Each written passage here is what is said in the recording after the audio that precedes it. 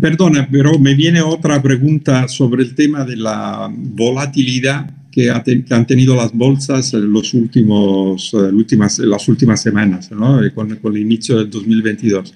El 2022 será un año uh, volátil.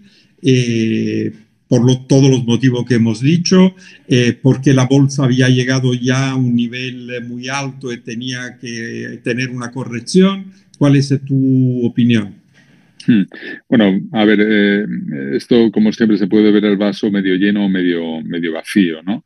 Eh, efectivamente, en el momento en que empezamos ya con un con una etapa de, eh, normalización de las políticas eh, monetarias, de subidas de tipos de interés en, Estados Unidos, pues eh, eso hace que afecte ¿no? al, mercado bursátil y que veamos correcciones ¿no? con, con precios que solo se justificaban con niveles o tipos de interés muy, muy bajos, ¿no? Eh, pero también estamos, o sea que por un lado hay ese elemento de riesgo y a esto hay que añadir todos los factores eh, geopolíticos eh, de los que hemos estado hablando, de las tensiones en Ucrania, las tensiones geopolíticas entre Estados Unidos y, China o la propia desaceleración de la economía china que puede ser más, más accidentada, ¿no? un aterrizaje menos suave de lo previsto.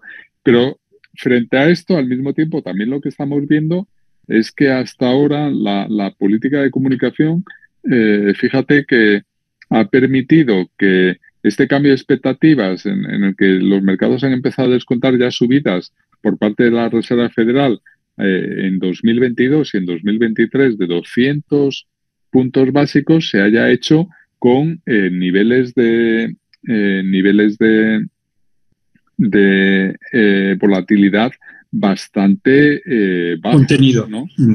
Eh, eh, por lo tanto, el mercado está digiriendo bien esta normalización de, la política monetaria, al menos por, el, momento. Otra, otra cuestión es qué pasa si las tensiones en términos de inflación terminan siendo todavía más elevadas, más volátiles, no desaparecen y por lo tanto la política monetaria tiene que ser mucho más agresiva de lo que esperamos. Pero hoy por hoy la, volatilidad está bastante, bastante contenida, pero es un elemento de, riesgo.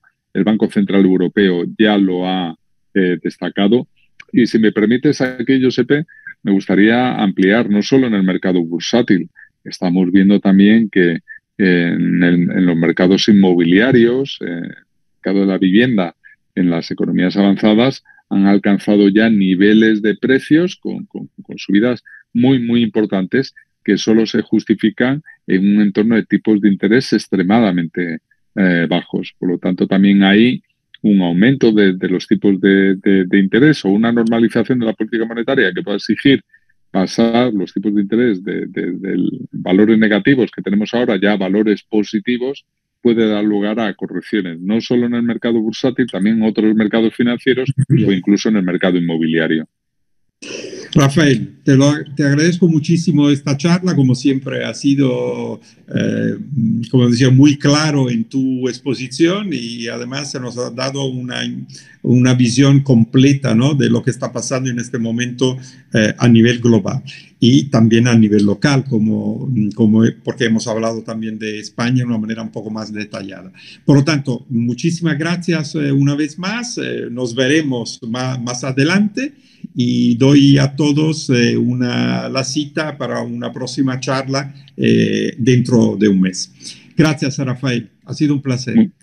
Muchísimas gracias eh, a ti, Giuseppe. El placer ha sido mío de tener esta charla, como siempre, tan interesante. Muchas gracias. Gracias, gracias Ángel.